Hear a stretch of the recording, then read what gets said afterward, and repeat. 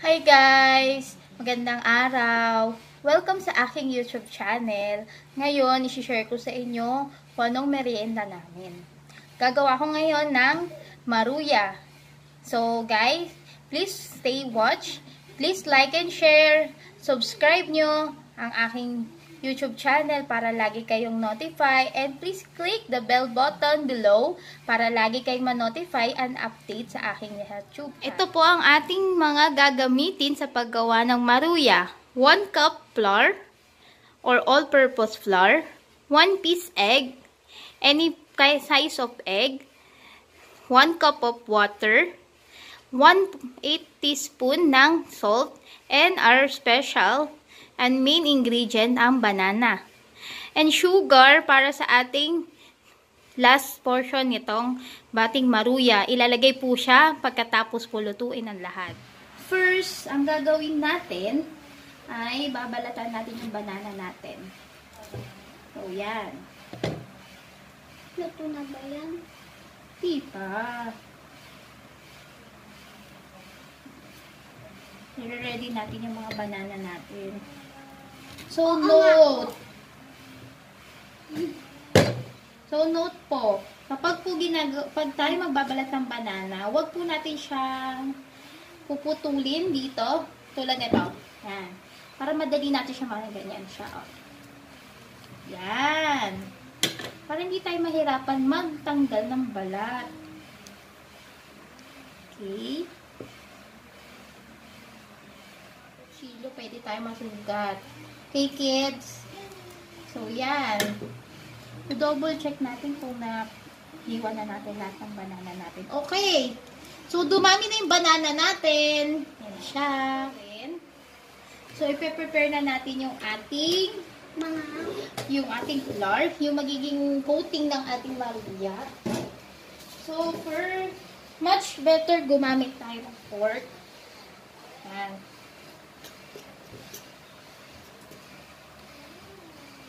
So, medyo ikalat pa natin siya ng konti.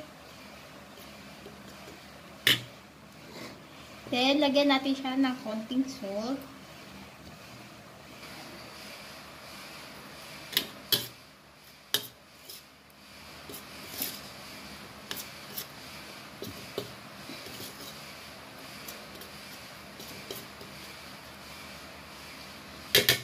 Okay?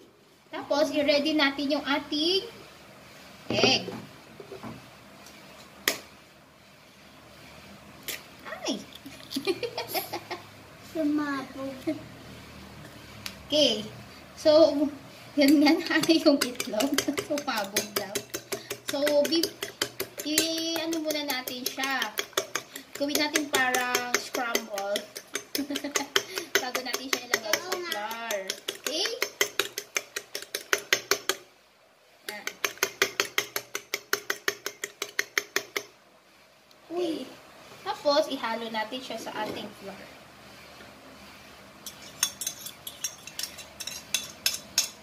Guys, another tips, kapag po tayo gagamit ng egg sa ano bang lutuin natin, first, try muna natin siyang buksan sa isang bukod na mangkok para ma-sure natin na yung egg ay okay. Minsan kasi, di natin alam yung egg pala is bugok or sira na siya, na isama natin, may possible kasi umulit tayo. At the same time, sayang yung ingredients. So, yan. Halu-haluin lang natin hanggang mag-combine sila.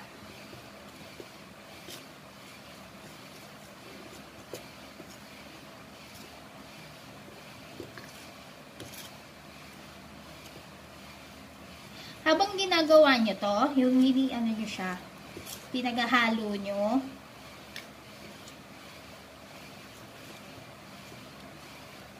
pwede na natin ilagay yung water natin. oo nga.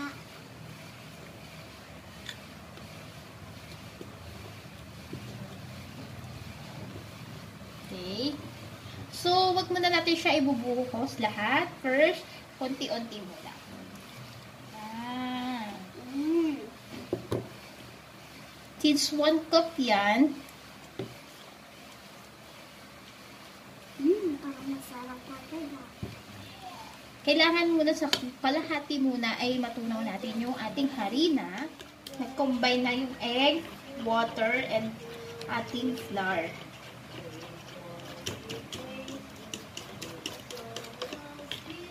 Medyo mainit na. So, prepare tayo ng oil natin. Pag magluluto tayo ng maruya, yung medyo lubog yung ating pag yung lulutuin natin para ba, ano siya, buo siyang maluto or pantay-pantay siya. Okay, guys? Take note din, guys, ha, dapat malinis yung kamay natin kasi hakawakan natin siya.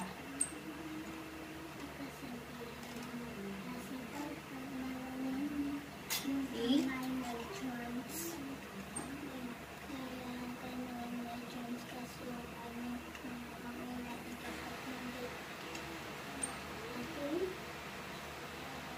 Okay, guys. So, yan na. Nakikita nyo ba yung ginagawa ko? Ilalagay lang natin yung banana muna. Ganyan. Dapat make sure na na-coat ang buong banana. And then, ah.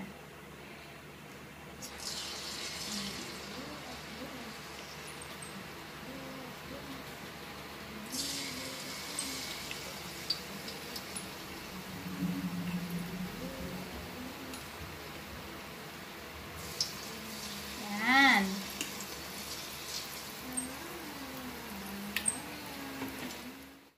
Okay, guys. Kapag ganyan na yung color niya, ibig sabihin niya, luto na yung harina and yung banana sa loob. So, pag ganyan na siya, pwede na natin siyang ahunin at i-drain sa ating Maganto yung aking drain. I-drain natin yung excess oil para hindi nakakaumay. Okay guys, for the final touch ng ating maruya, so mag-prepare tayo ng asukal. So, 5 tablespoon muna at 5 kutsara ng asukal. So, ito na yung ating finished product ng pagluto. So, pagka, make sure again guys ha, malinis ang kamay ha. So, ilalagay natin siya ganyan. Make sure na na-coat ng sugar yung buong maruya. Okay, ganyan lang. So, yan. Pakita mo nga, Papa. Oh. Hey guys, ito na ang ating finished product. So, diba? Mukhang masarap siya. So, excited ka na kumain, ate? Sagot. Apo! Okay guys, yan ang video natin for today. Thank you for watching. Like I said later, please subscribe, like, and share my video today. And lagi lang tayo, para lagi tayong notified, just click the bell button below ng ating video ito. So, bye! Thank you!